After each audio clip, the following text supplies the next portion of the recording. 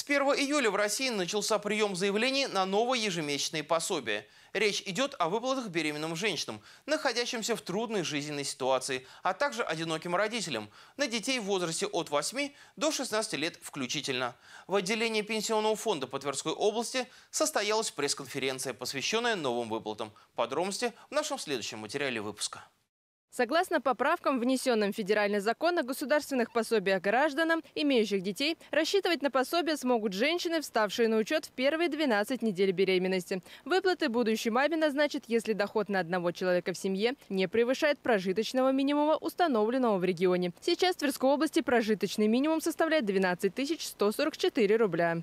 Пособие для будущих мам. Размер этого пособия составляет 6072 рубля, рассчитывается исходя из половины прожиточного минимума трудоспособного населения в регионе. Пособие выплачивается ежемесячно, с месяца постановки на учет. Если будущая мама обратилась в течение 30 дней с постановки на учет, но не ранее 6 недель беременности, или с месяца обращения – если мама, соответственно, обратилась по истечении 30 дней с момента постановки на учет, ну и вплоть до родов. Ежемесячное пособие на ребенка в возрасте от 8 до 17 лет смогут получить одинокие родители. В случае, если второй родитель умер, пропал без вести, не вписан в свидетельство о рождении. Размер ежемесячной выплаты на ребенка в неполной семье составит 50% региональной величины прожиточного минимума для детей. При этом учитывается имущество, которое есть в распоряжении семьи. В Тверской области пособие в месяц на каждого ребенка составит 5900 946 рублей. Чтобы получить выплаты, необходимо подать заявление на портале госуслуг или в клиентской службе территориальных органов пенсионного фонда.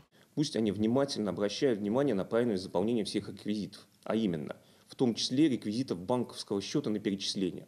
Потому что при предыдущих выплатах так вот получалось, мы это знаем. Нам указывали банковские реквизиты, ну, мы их, естественно, регистрировали, перечисляли туда деньги, а потом, с учетом того, что там где-то ошибались, банк эти деньги не зачислял, потому что ну, у нас существует проверка, чтобы не тому, как, не, дай бог, эти деньги не зачислить, нам эти деньги возвращались. И у нас э, была такая большая работа по поиску этих людей. Напомним, о введении новых мер поддержки семей президент Владимир Путин сообщил во время послания Федеральному собранию 21 апреля этого года.